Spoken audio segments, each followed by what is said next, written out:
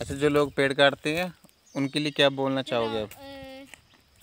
क्या क्या होता है? दोबारा बताना एक बार। रबर रबर भी होता है इससे। हम्म, गम भी होती है। हम्म, और रबर हम्म। Gum rainfall. Rainfall rainfall control होती है ना? हाँ रेनफॉल कंट्रोल होती है कि बस इनके हिसाब से होती है। बाढ़ नहीं आती ना? बाढ़ नहीं आती।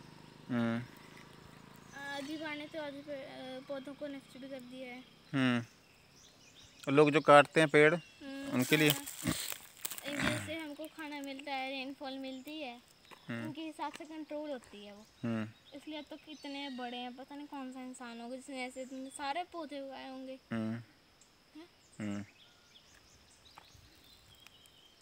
क्या करना चाहिए लोगों को? पेड़ काटने चाहिए नहीं काटने चाहिए? नहीं करना चाहिए। अब। मेरे पे नहीं है ये। बस आप तो पौधे ले आना। हम हर जगह एक एक पौधा काट के आएँगे।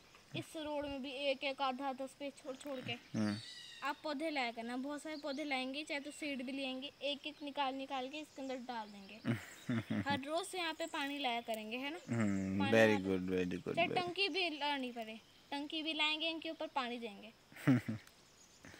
दे देंगे जो यहाँ रहते हैं वो भी दे सकते हैं ना?